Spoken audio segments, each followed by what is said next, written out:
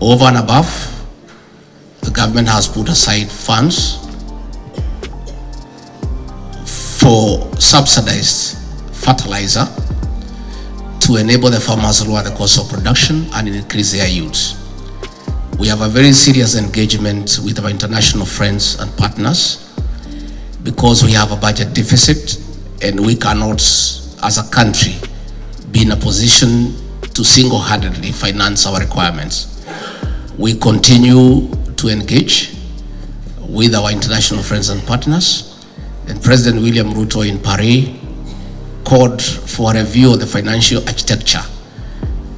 The present financial architecture has been very disadvantageous to the African continent that faces huge challenges. Like my brother here, my neighbor from Somalia has explained.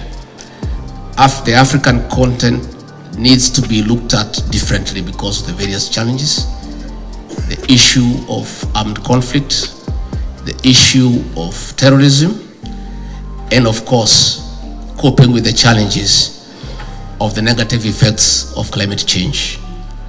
We have just come out of the worst drought in 40 years after five subsequent uh, failed seasons.